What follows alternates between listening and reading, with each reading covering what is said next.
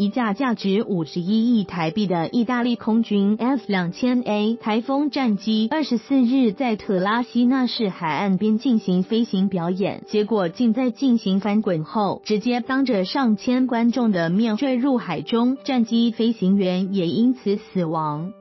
据美国航空新闻网站 The Aviationist 报道，这场令人触目惊心的意外在意大利中部城市特拉西纳市海边发生。当时战机完成一次翻滚后，未能爬升至该有的高度，而直接撞入地中海，激起大片水花，并现场也因此有浓烟飘出。战机坠海的地点仅距岸边不到一公里，让当时在岸边观看飞行表演的观众触目惊心。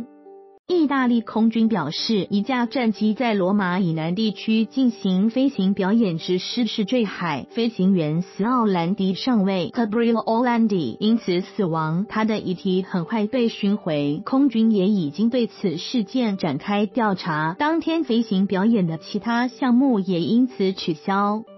中时电子报。